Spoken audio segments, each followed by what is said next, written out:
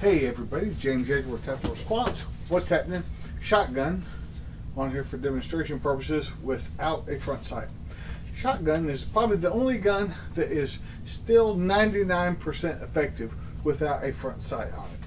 Now, according to the internet, you don't even have to aim these things, which is not true. But there are some common myths myths about shotguns, like racking it will make people run away and you don't have to aim. I've already went over before in my previous video, shotguns for home defense, but there's a few things lingering that I wanted to mention. But this gun is getting an XS Big Dot up there. As I film this, the uh, I don't know what year you might watch this video, but in 2021, as I film this, uh, XS Sights will be doing a 20% off. You don't need a coupon code, 20% off Memorial Day weekend, Friday to Monday. Uh, this thing's getting big dot. I had to replace the bead. That's a different video. uh, but um, this old police trade-in that I've modern, modernized, and there will be a video on uh, Liberty TV of me going through this whole process uh, after I get the bead. But let's talk about shotguns. Uh, bead is what's supposed to be on there. A bead is regulated to shoot a slug point of aim, point of impact at 100 yards. Between 0 and 100, the slug is about that high. Um, you, you, might shoot over somebody's head. At 25 yards, the cops in here, the old cops in here get this. At 25 yards, uh, you aim a shotgun at the belt buckle of a person to hit them here. That's how high it is at 25 yards. Um, but uh, bead sight is what should be on a shotgun. Period. Period. Period. It's not a rifle. Rifle sights don't belong on a shotgun. Do not belong on a shotgun. There might be a rare exception if you have a rifled slug barrel shooting saboted slugs in a state that won't let you hunt with a rifle because you live in a commie state. Maybe you, but otherwise not necessary for any defensive purpose. Not necessary. Um, but it's, it's a, not a rifle. Even with rifle sights, even with slugs, it's it's a 6 MOA gun at best. Uh, and somebody's going to say, not mine. Shut up. Uh, then red dot, please stop. all this thing needs is a bead, uh, XS big dot. Uh, it's all it needs to aim and shoot. Uh, the simplicity of the shotgun and the lethality of the shotgun uh, are wonderful.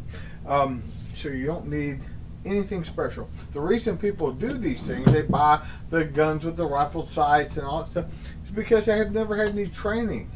If you get competent training with a shotgun, you will love the simplicity of this gun. You will love it.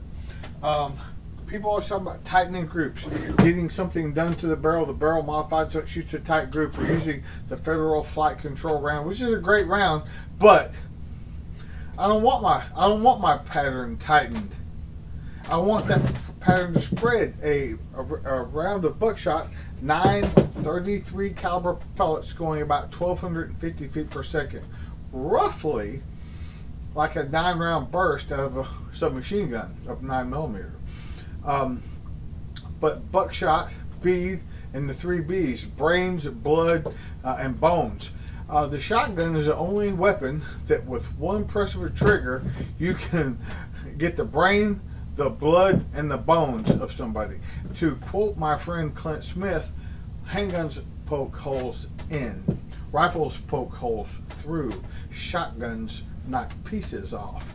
And I'm telling you, you don't need precision with this thing. You need speed, and good enough is good enough with a shotgun.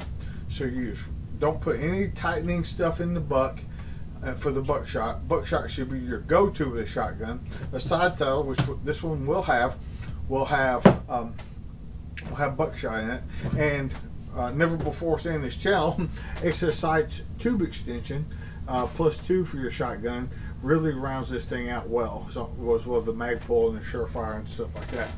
But uh, so while you're over at XS, getting your big dot, go ahead and check out the tube extension. It's a great piece. Again, there'll be a full video on this on this overhaul on Liberty TV very soon. LibertyTV.com link below.